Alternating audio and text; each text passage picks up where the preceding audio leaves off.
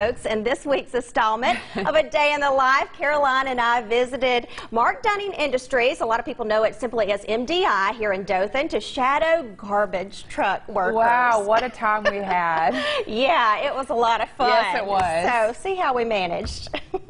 Get right here. Mhm. Right, get get right here, wait up here. And I'm gonna get right here behind you. Hold on tight. Mark Dunning Industries in Dothan, known simply as MDI by many, was founded in 1980 and employs some 150 people. The garbage, waste removal, and recycling company services both residential and commercial clients. Scott Smith has been a sales manager for eight years with the company, and for him, this is a second career. He previously worked in pharmaceutical sales prior to working at MDI. The core business of MDI is around uh, military bases. We have government contracts in about seven states. Some of those states include Florida, Texas, Georgia, Mississippi, and New Mexico. Tanya, please, you be the first one to do this. You go- I'm gonna let her try it So solo. first of all, what I you think do you when you should. step out the truck, you want to grab this with both of your hands. Grab it with both of your hands, Alright, I got it. roll it back, uh huh, and then you're gonna roll it back like this. Let me show you. Let me demonstrate one good time. We need to demonstrate. You're gonna roll it back, and you're gonna position it with the truck. Oh, okay. Lee Bryan is one of MDI's most senior employees, having worked for the waste management business for the past 20 years. He explains why he has grown to love his job. Around the holidays, it's people that, that's coming out and giving you uh, some cookies or some water or something to drink. Sometimes even a card that says thank you, you know. So yeah, it's it's, it's very it's an interesting job. Here you want Oh, to make sure you got control good, of it. Tanya. And every now and then you're gonna have to. I got you. I got you. I got you. Just step right here, though. Yeah, that's why you want to keep your body out of the way of all this. Watch out for all those ants. Each day Lee's crew goes out, they collect garbage from some 300 to 400 different locations. Go ahead. Just make sure you keep your hand on it. Keep your body out of the way. Lord have mercy. Alright, well let's hope you do better, Servicing several different communities in the Wiregrass along the way, including Napier Field and Grimes, just to name a few. The smell is refreshing. And that's just one down. We've got like what? How many more to go? Oh, two, three hundred. Two or three hundred in a mm-hmm. day?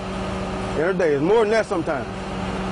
Okay, well, we better get busy. And after two decades, Bryant says the smell doesn't even face him anymore. I guess starting out it would be hard, but once you get used to it, it's just just like you guys' job, you know.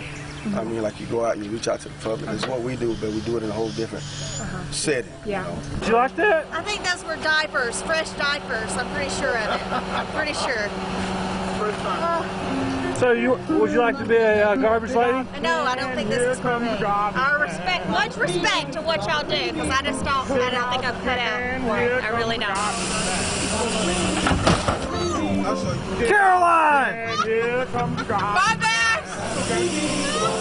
I'm sorry, I messed up. Tanya, you gotta wait for the cameraman. Hurry up! Tanya, Don't fall off. don't push me I'm off. gonna try not to. We need clothespins for our noses. Yeah, I'm getting the front line smell right here. And I'm telling you, each stop it just gets worse and worse. That's a good job. That's a good job. Yeah, just go ahead and tip it back up. Tanya, I think you missed a little bit.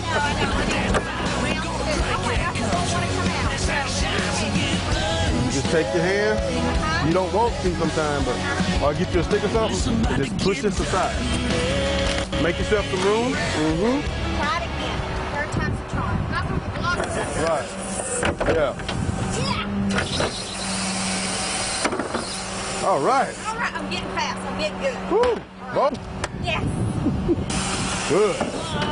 That was Good. that was perfection. Yeah. I gotta say.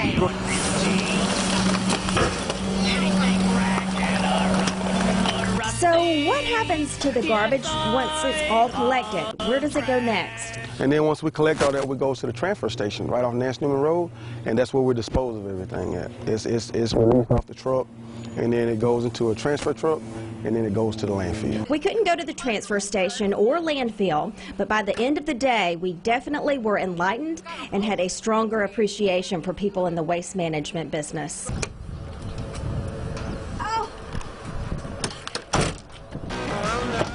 What are you doing? Well, I, it was stinky back there, so I was Uh-uh. No, ma'am.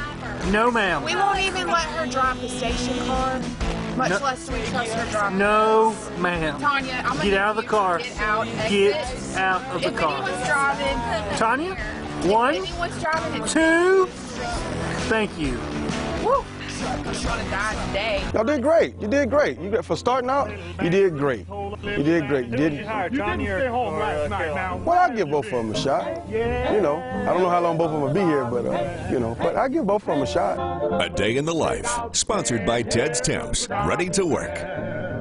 Oh, he said we did great, but were we really? I don't know. He was so nice, and that was probably one of my favorite segments He was, we've done. and much respect for what they do. I don't know how they do it. He's been doing it for two decades. Can you imagine? And I So- think it's neat. He said, you know, it's a career. I've made a career yeah, out of it. and he really enjoys he it. He loves it. So I'm, I'm happy that they enjoy yes. what they do. And you've been on a few segments now. Was that one of your favorites? D- definitely, it was definitely the most, uh, the dirtiest. Yeah. But um, it was a lot of fun. Yeah. So, Well, you didn't get to go under the house when Mandy and I went, so I don't know was- if I could have survived that. This was just a taste of that. But in seriousness, thank you to everyone at Mark Dunning Industries. We really appreciate you le- letting us tag along. And thanks to everyone at Ted's Temps, of course, for sponsoring that weekly segment. Well, we need to take a quick break, but let's go ahead and see how things are looking outdoors, courtesy of the fine people at the Durden Digital Network.